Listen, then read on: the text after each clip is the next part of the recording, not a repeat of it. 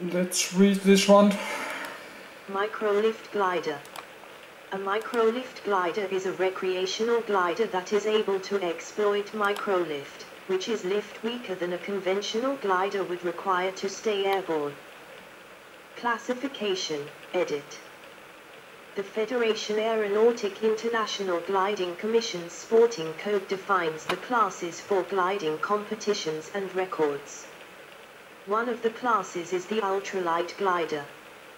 These are defined as gliders with a takeoff mass not exceeding 220 kilograms, 486 pound.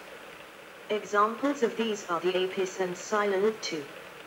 Microlift gliders are a subtype of the ultralight class, further defined by a wing loading that does not exceed 18 kg forward slash m, 3.69 pound forward slash feet.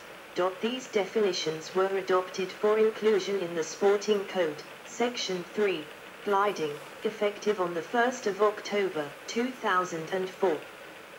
World records for the ultralight class have been recognized by the FAI but there are no world championships for these types at present.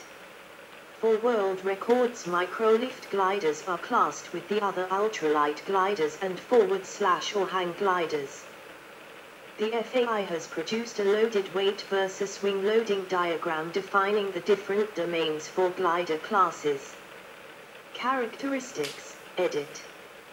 In addition to the traditional forms of lift used in the sport of gliding, microlift gliding also aims to exploit non-traditional sources of weak lift. In typical conditions, conventional sailplanes may be unable to exploit weak vertical movements of air. However a microlift glider that is specifically designed to have a very low rate of sink and a very small circling radius, may be able to exploit these feeble air movements for sustained flight and may even allow the glider to climb. Microlift gliders, edit. 1 Advanced Aeromarine Sierra 2 Aériane Swift. 3 Bailey-Moyes Tempest. 4 Elof 1. 5 Glider Sport Light Hawk. 6 Maupin Carbon Dragon. 7 Ruppert Archaeopteryx. 8 Neutrino. References, edit.